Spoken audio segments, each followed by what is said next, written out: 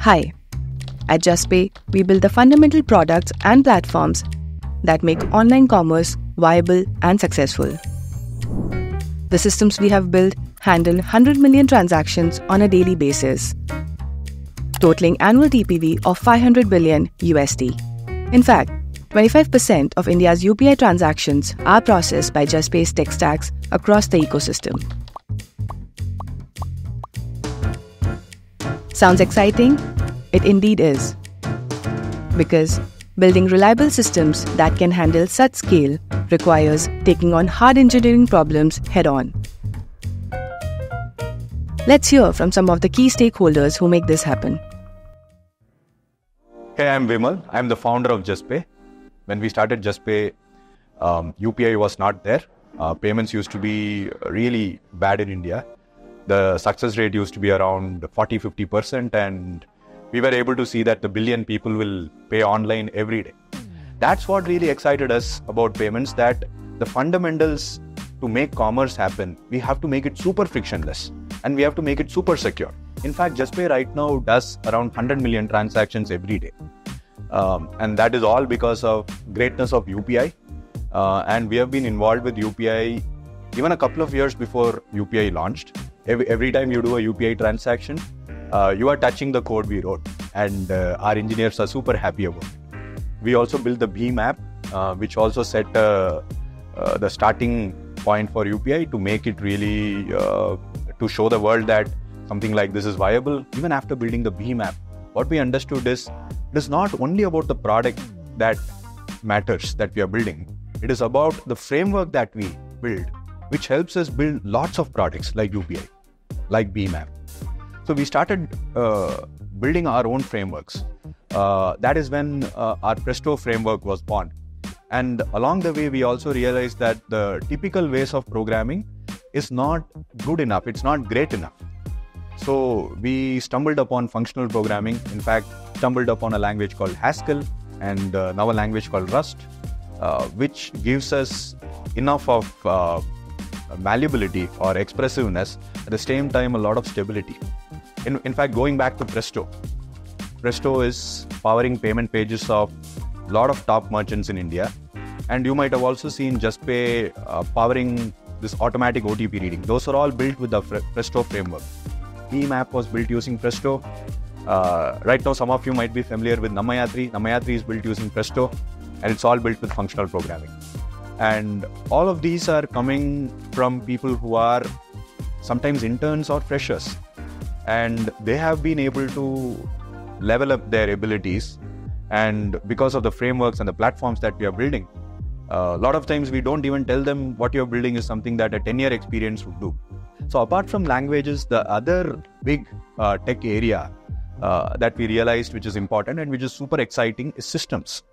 Because a lot of times when we build systems, and when we scale to let's say like a thousand uh, hundred million transactions as we do every day you have to be confident that it has to work all the time right? It can't go down. And some of the great examples are uh, are cloud systems like aws and uh, gcp azure.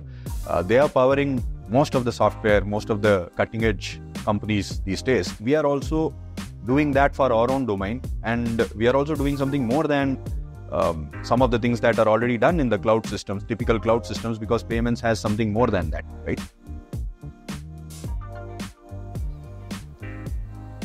When you are making an online payment, whether you are choosing an UPI, a digital wallet, net banking, or entering your card details, the page, the checkout page where you do all this is powered by Juspay across top merchants in India. This page helps in offering better payment experience for customers and better conversion rates for merchants. So, what are the engineering problems we face while building such a seamless checkout experience product? There are two challenges. The first challenge is efficiency. We aim to deploy our code across all three platforms iOS, Android, and web simultaneously without separate timelines. To achieve this, we have developed our own cross platform native UI framework called Presto. What do we mean by Presto, a cross platform native UI framework? As a developer, you write the code just once and it automatically translates to iOS, Android, and web platforms as a code. That's awesome, right? We developed this in-house. There are other native UI frameworks available in the market for us to take it up. Why bothering building in-house? We developed this in-house because it is crucial for us to keep the size of the SDK within preferred limits, and it also allows us to maintain a lean code base without compromising on quality. The second challenge is to ensure the payment page looks different for each merchant. The page should naturally blend with merchant app theme and it cannot look same across all merchants.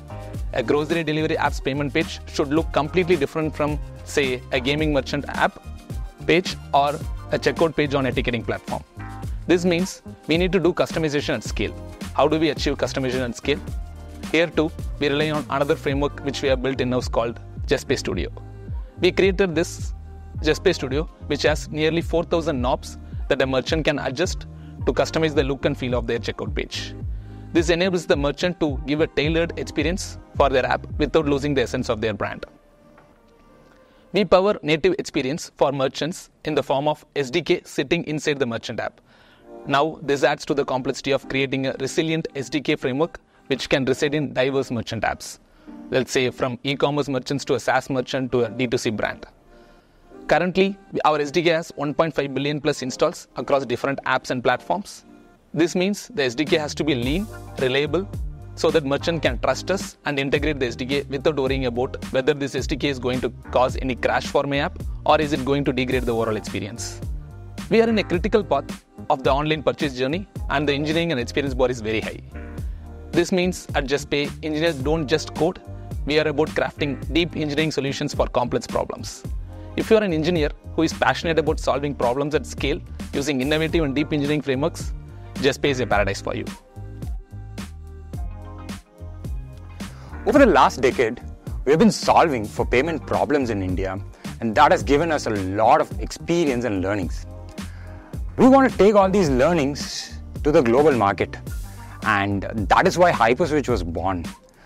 Hyperswitch is an open source payment switch for the international markets.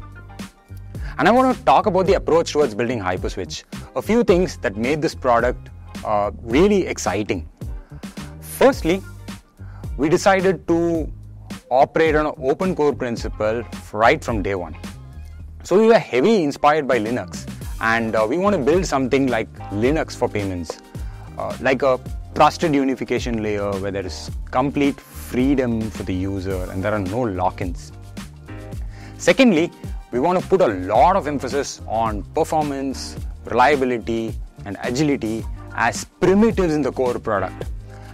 That is why we built the entire product from scratch using a system software like Rust. Lastly, the product growth is completely driven by the community. Ever since we open sourced Hyperswitch, we have reached close to 9k stars on GitHub. And today we have uh, 1000 plus members on our community channels. This includes developers, business owners, product managers, CXOs, and so on. They are actively using the product, giving feedback, and asking the hard questions. Now, this community led approach is pushing to improve the product each and every day and taking us towards the right direction. In the fintech payment space, an open source product of large scale is something that is not very common. That makes the journey of building Hyperswitch a more exciting and a very rewarding experience. What we did in India, the 100 million transactions per day we do every day, and our contributions to the ecosystem to UPI, what is the equivalent for that for the world? So we are working hard on what is the equivalent of a system like UPI for the global market. And Hyperswitch is a part of that vision. And something like Hyperswitch, which is a unifier of the diversity, will enable a lot of different kind of solutions around the world to sprout. And some of these solutions will be like UPI. We see that payments doesn't need to stop with some of the areas where we are in the uh, consumer side of payments. B2B payments is a, another big area which will open up. FinOps is another area which will open up. And credit is another area that is also we are already working on. We have been working on some of the open systems around credit. Uh, it is uh, yet to manifest in a big way, but all of these we are uh, super focused on. Um, in fact, what is the next innovation in the internal frameworks that we are building, which will help us build all this diverse set of software in a very reliable. way? We are seeing AI is going to play a big role. We are looking at building our own AI co-pilots, our own AI software, which are going to be augmenters of our creators. Thousand people who are there in Juspay, how can they become as powerful as 10,000 people? So, how do we augment the abilities of our people? So, we are building a lot of custom AI software, and our belief is that is the future of AI. It is about human augmentation, and uh, that is a super exciting area that we are seeing that we want to invent. We want to invent like it is some science that we would invent. I feel in the next few years. I think that everybody wants to go deep. Everybody is looking for fundamental understanding and fundamental expression. In fact, some people are the people who ask a lot of why questions. Some people are the ones who go and just do it without asking why. And such doers, the depth in there is like they've forgotten themselves and they are in their full and they are doing it. That is also something that we are always excited about working with such people.